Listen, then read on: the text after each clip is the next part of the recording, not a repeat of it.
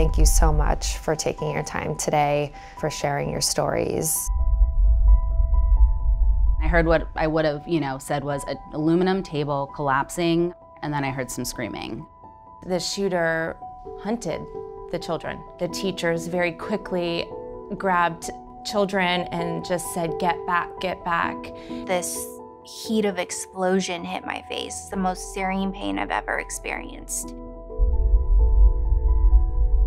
There's glass breaking everywhere, there's papers flying. It's a war zone. And I realized like I've been shot in the face. I was hospitalized for two months afterwards. Oh my God. I'll deal with lead poisoning for the rest of my life. I had to learn how to walk again.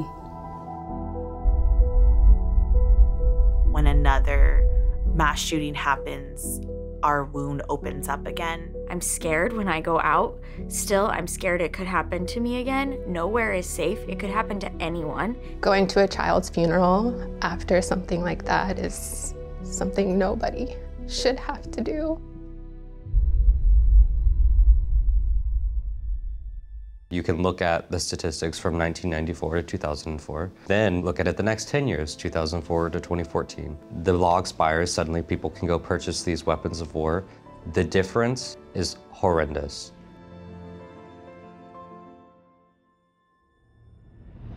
I decided to get active with March 4th as they have the most obvious and actionable messaging when it comes to this issue to limit the access of assault rifles. We want our children and our families to be safe. We want safer gun laws. We can't give up. We have to keep being loud. We're all united on this as Americans who want a safer country and walk out of our house feeling safe.